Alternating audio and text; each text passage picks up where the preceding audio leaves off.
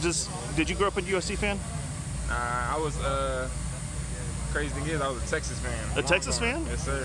Why Texas? I used to like Vince Young when I was growing up. Just like the style of game, and then I always just used to follow uh, Texas. Were you at the Rose Bowl when they beat uh, USC? Nah, I didn't go to the game. I was watching at home though. So you were one of the few guys in Southern California cheering for the Longhorns. Yeah. What do your what'd your friends say? uh, they was SC fans, so they was like, "Why you going for uh, the Longhorn right now when we got SC out here?" Like, never was SC fan really.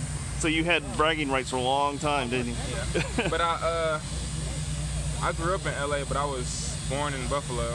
Oh, okay. So then I did a couple of years in Atlanta as well. So I was never really born into SC. Oh, okay. So it was a little different for me. Is it, was it uh, just going back to LA though? What what does that mean to you to, to play your first game of the season, especially in a place like USC?